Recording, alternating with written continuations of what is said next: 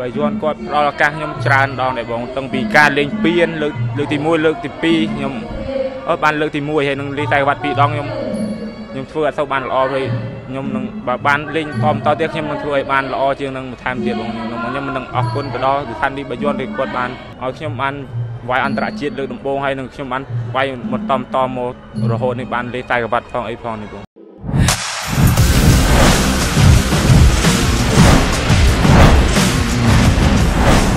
AMS Sport ដើម្បីកីឡា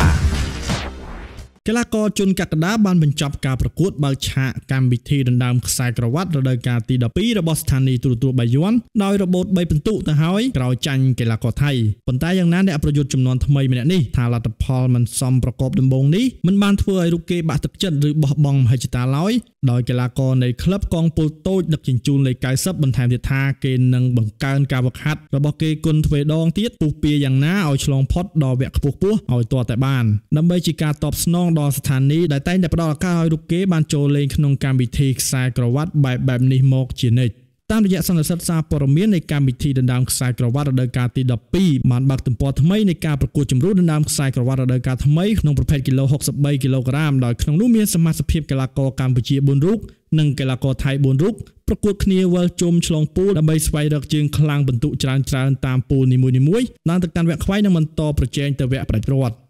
បាទជំរាបសួរបងកម្រិត គេការប្រកួតមិញគេល្អល្អខ្លាំងយើងចាញ់អត់រួចគេក្បាច់យើងចាញ់អីចាញ់អត់រួចនិយាយទៅគេចាញ់មកលឿនចាញ់ដៃចាញ់ជើងចាញ់ច្បាស់ហើយយើងវាយអត់ចាញ់អត់រួចដូចថា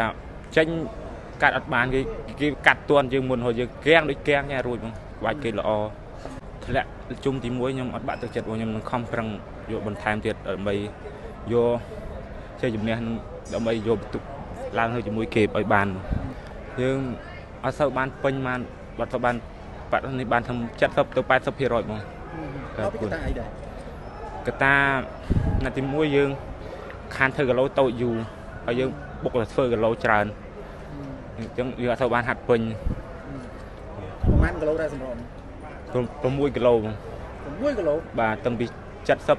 71គឺសារក្រោយអាចនឹងស្រួលបើយើងយើងបានធ្វើម្ដងលើចុះហើយយើងសារក្រោយនឹងស្រួលធ្វើយើងសារមុនយើងអត់ដែលបានធ្វើដល់គីឡូតូចយើង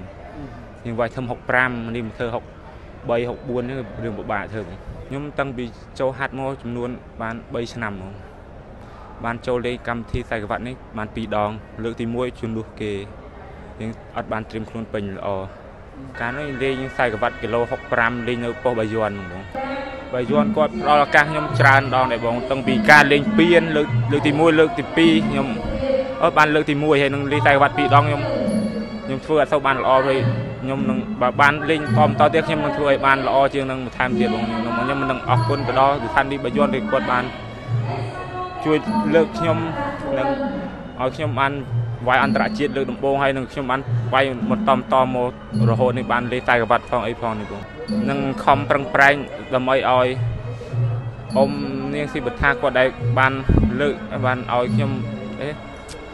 ឲ្យខ្ញុំបានវាយអន្តរជាតិខ្ញុំនឹងបានខ្ញុំនឹងបន្តការធ្វើឲ្យបានល្អជាងនេះហើយនឹងអរគុណដល់ស្ថានីយ៍បាយ័នដែលផ្ដល់ឱកាសជាខ្ញុំខ្ញុំជារឿយៗមកដល់សប្តាហ៍ថ្ងៃនេះតាមការតាំងចិត្តរបស់ខ្ញុំខ្ញុំនឹង ខំប្រឹងប្រែងប្រឹងប្រែងខំវឹកហាត់ឆ្វេជា2ជា3ឲ្យបានខ្លាំងជាងមុននឹងដើម្បីទៅដល់វគ្គផ្ដាច់ព្រាត់នឹងគេបងឲ្យបានដល់វគ្គផ្ដាច់ព្រាត់ឲ្យឲ្យគាត់បាន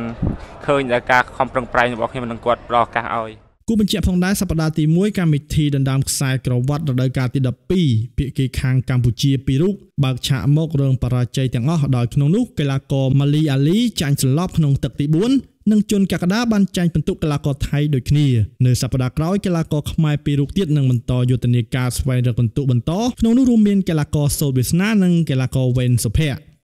We Active ភេសជ្ជៈកីឡាដំបងគេរបស់កម្ពុជា បំពេញជាតិទឹកបានល្អនិងលឿងជាងទឹកធម្មតា